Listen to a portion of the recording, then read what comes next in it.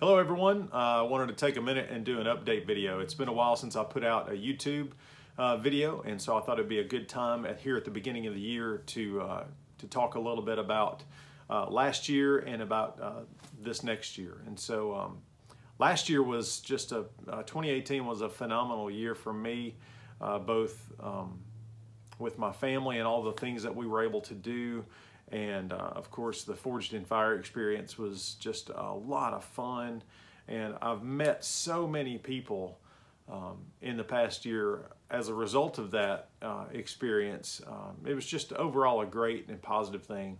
Um, and so uh, 2019 has a lot to live up to, you know, but um, I got into a rut in 2018. I say it's a rut. I got into a habit of taking custom orders. And so I'd come out here to the shop and I would make something, throw up an Instagram picture uh, about it, and then invariably I'd get some people that would re request one of those from me. They would say, hey, I like that hammer or I like that axe. Can you make me one? And, and I think I said yes to too many people. And so uh, I have a backlog right now that I'm trying to get caught up on. And uh, as soon as I get that backlog caught up, I think I'm going to stop with the custom orders, meaning uh, I'm going to stop with the requested orders. I'm still going to make things uh, and put them out, but they'll be the things that I want to work on rather than a customer list uh, dictating what I do.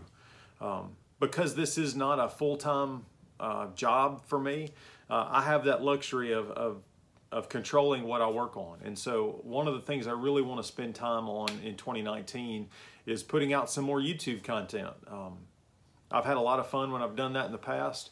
And, um, and so there's some projects I want to work on and I'm going to try to video those and, and put out some YouTube videos when I do.